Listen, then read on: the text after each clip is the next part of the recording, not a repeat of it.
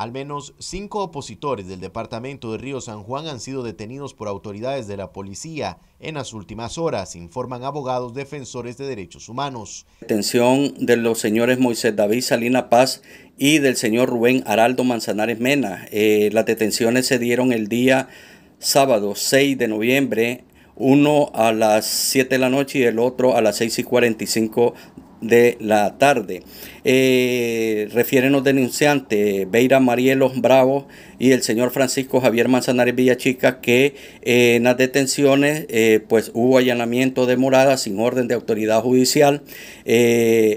El día de ayer, ambos detenidos cumplían 84 horas de estar detenidas fuera del límite o el plazo que eh, la constitución política establece de que son en el plazo de las 48 horas. Eh, abogados defensores del pueblo pues se procedieron a realizar los respectivos escritos para que los familiares pues interpusieran los recursos de exhibición personal a favor de eh, ambos detenidos. Asimismo también informamos que tuvieron que salir a la exilio el señor Cándido Sánchez y el señor Freddy Rodríguez, eh, ciudadanos también del municipio de eh, El Almendro y al lado de Morrito. Es decir, eh, hay unas capturas o persecución de ciudadanos del sector y que pues este hasta el momento lo que abogados defensores del pueblo pues podemos decir o tenemos eh, la confirmación de la dos detención de estos dos ciudadanos y eh, las otras dos personas que tuvieron que salir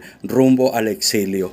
Eh, es todo lo que tenemos que informar hasta el momento pues abogados defensores del pueblo estaremos pendientes del caso de estos dos ciudadanos pues y ver cómo se desarrolla el proceso, pero sí hasta el momento podemos decir de que eh, a la hora de la interposición de ambos recursos, pues no había ninguna formulación que cuál era la causa, cuál era el motivo, que por qué estaban detenidos, mucho menos eh, el Ministerio Público no había formulado ninguna eh, acusación formal contra ambos ciudadanos.